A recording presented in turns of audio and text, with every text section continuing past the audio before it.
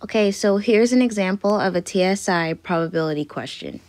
It says there are 20 children in the cast of a class play, and eight of the children are boys. Of the boys, four have a speaking part in the play, and of the girls, eight do not have a speaking part in the play. If a child from the cast of the play is chosen at random, what is the probability that the child has a speaking part? The first thing I'm going to do is gonna I'm gonna underline what they're asking me to find, which is the probability that a child, it doesn't specify which gender, but the probability that the child has a speaking part. Knowing that, I know that I'm gonna have to figure out how many boys there are and how many girls there are. How can I do that? Well, it says that there are 20 children in the cast. And out of the 20 total children, eight of the children are boys.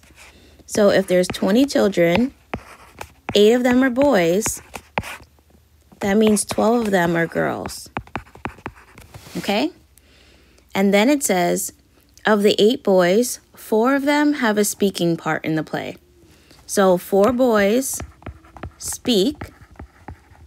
If there are a total of eight boys in the play, that means four boys don't speak. Okay? Then it says, and of the girls, eight do not have a speaking part in the play.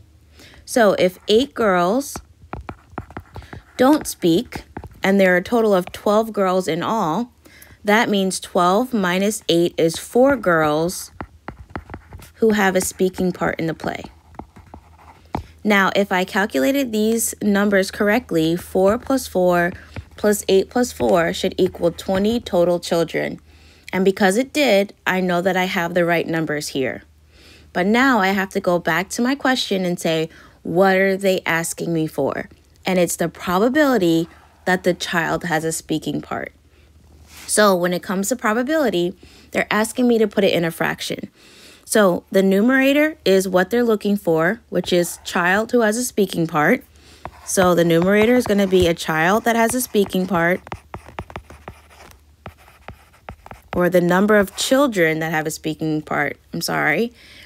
And then the denominator is going to be the total amount of children in the play. We already know the total amount of children in the play are 20, so our denominator is going to be 20. And then the children that have speaking parts, there are four boys that speak, and then there are four girls that are speaking. So 4 plus 4. So there's 8 children who have a speaking part out of 20. But when it comes to probability, we want to make sure that our fraction is always reduced. How do we reduce the fraction? We have to find the greatest common factor or the largest number that can go into 8 and 20. And so we know that the greatest common factor of 8 and 20 is 4. So we divide the numerator by 4 and the denominator by 4. 8 divided by 4 is 2. 20 divided by 4 is 5.